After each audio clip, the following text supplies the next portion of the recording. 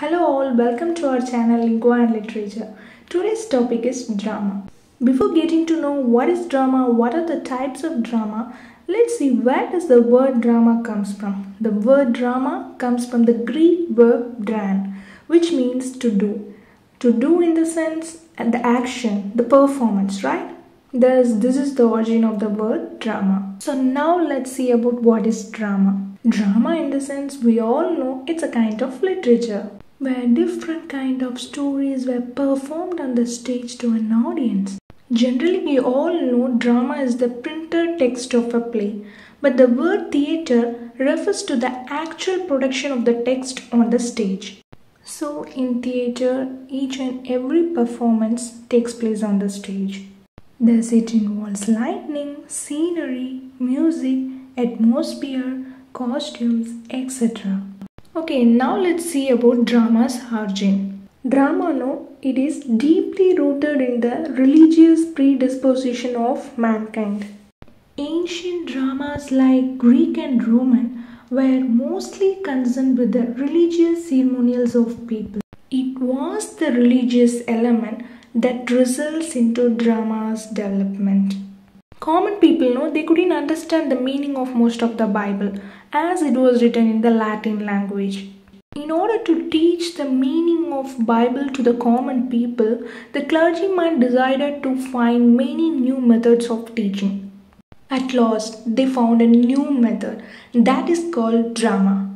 All the performers started to perform the stories of the gospel in a dumb show. In the next stage, each and every actors started to speak and act their parts very well. The clerics wrote many special plays that was initially written in Latin language and later in the vernacular French.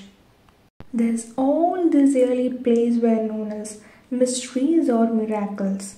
The very word mystery shows its ecclesiastical origin, since the word comes from the French word mystery, derived from the word ministry, because the clergy, who was also known as the ministerium or ministry ecclesiae, themselves took part in this place. Mystery was applied to scripture narrative, while miracles or plays dealing with incidents in the lives of saints and martyrs.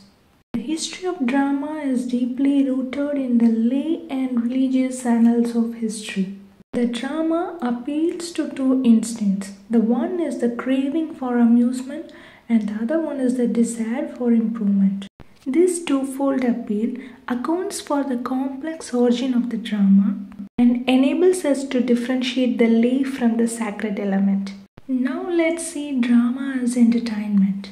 The most important entertainment of the Middle Ages, however, was supplied by the pageants and the May games and by the mysteries and miracles of the church. Roughly speaking, we may say that the juggling and clowning heralded the coming of farce and comedy. The pageants anticipated the historical drama, while in the May games we have the foretaste of masque and pastoral plays which was so popular in the Elizabethan age. Next, let's see about drama that took place inside the church.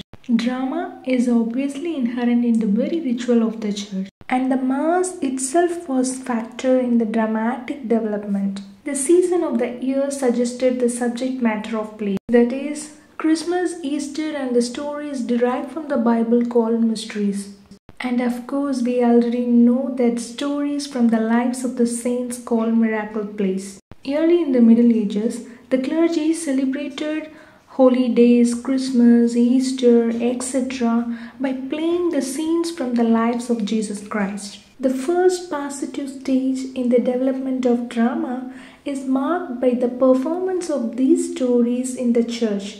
The second stage is reached when the play emerges from the church into the marketplace. This was effected when the guilds were entrusted with the performance in the 14th century.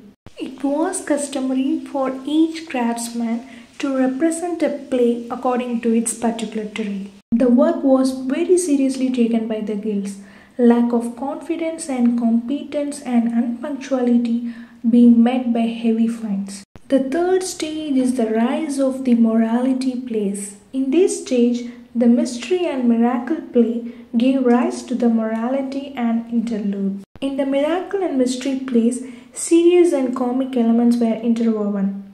The morality were frankly didactic, and the characters know they typified certain qualities, example sin, grace, repentance. And the interlude aimed merely at amusement. Everyman and Four P's of Heywood are best examples in this regard. Next, let's see about morality play, which began to be acted in the reign of Henry VI, and like the miracle plays, it continued to flourish until the beginning of Elizabeth's reign. The morality, as we have said, is a drama in which the characters are allegorical, symbolical, or abstract. The allegorical characters to be found in some of the early miracle plays of their importance to religious sources. They are not essential to the story. One of the earliest morality plays was The Castle of Perseverance, a drama of the old faith the spiritual progress of mankind from the day of his birth to the day of judgment is set forth in this drama. The moralities with their allegorical characters led to greater attention being paid to the plot, whilst gradually the abstract personification began to emerge into real people with individual idiosyncrasies. The moralities, like the miracles, were adapted to the audience. Comic scenes were introduced to relieve the seriousness of these medieval problem plays.